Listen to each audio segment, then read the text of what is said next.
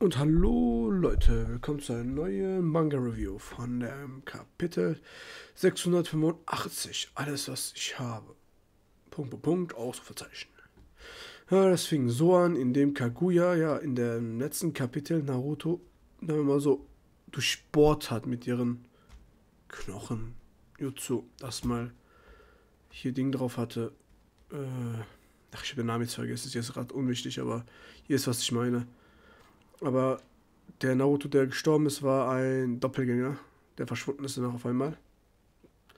Der andere Naruto hat dann äh, die Gegenwart von äh, Ding gespürt noch. Hm. Obito. Und genau wo Kaguya verschwindet und die Narutos den folgen, hat Obito es geschafft, die, die äh, sagen wir mal so, in die Dimension reinzugehen. Er hat sich da teleportiert mit, äh, mit Sakura, war das glaube ich, oder auch mit Naruto? Ja, doch, mit Naruto und Sakura. Dann haben sie die in der Dimension eingetaucht von denen.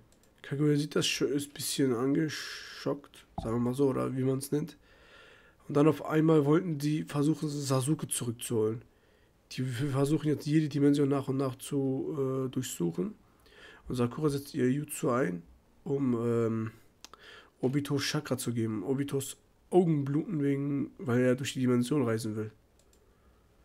Er geht die Dimension durch und äh, findet Sasuke gerade nicht.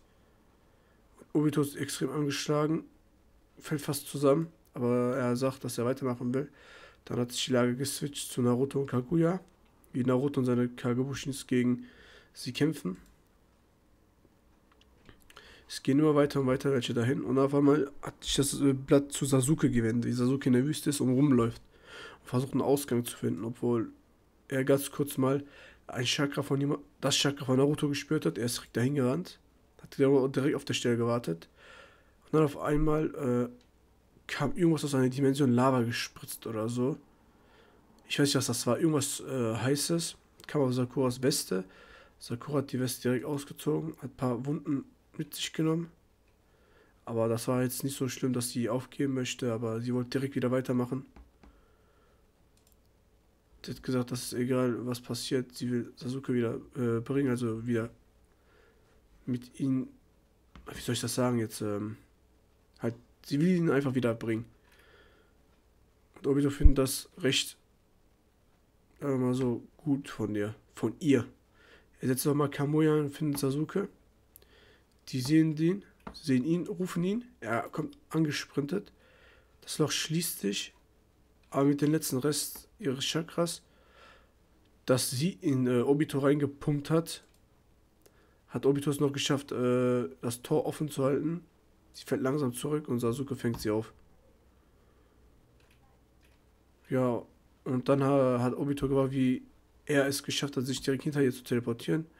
Der Grund wäre, dass er die Plätze tauschen kann mit einem Objekt und dann auf einmal sah man, wie die Weste von Sakura da lag. Ja, so hat die Folge geendet, Leute.